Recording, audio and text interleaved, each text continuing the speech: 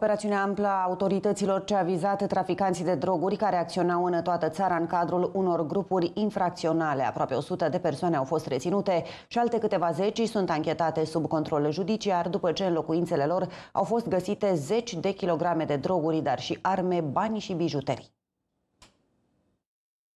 Poliția română a desfășurat sub coordonarea DICOT o amplă operațiune de destructurare a mai multor grupuri infracționale organizate ce activau în mai multe zone din țară. Numai puțin de 58 de acțiuni operative au fost desfășurate și peste 300 de locuințe au fost percheziționate. Pe lângă traficanții de droguri, descinderile au vizat și traficul de persoane, exploatarea persoanelor vulnerabile, dar și criminalitatea informatică. În jur de 300 de persoane au fost duse la secție pentru a audieri, 97 dintre ele au fost reținute pentru 24 de ore, iar pentru 35 de suspecți s-a luat măsura controlului judiciar. Suspecții reținuți vor fi prezentați instanței cu propunere de arestare preventivă. În urma descinderilor, polițiști au găsit în total circa 40 de kilograme de cannabis, patru culturi de cannabis crescute în interiorul locuințelor, peste 18 kg de droguri de risc și mare risc și peste 900 de comprimate. În plus au fost găsite șapte arme letale, 11 11 neletale, peste 160 de bucăți de muniție, 13 mașini de lux, cât și alte bijuterii sau accesorii de lux. Vor fi percheziționate informatic și peste 240 de telefoane mobile și alte dispozitive electronice. Din casele suspecților au mai fost confiscate peste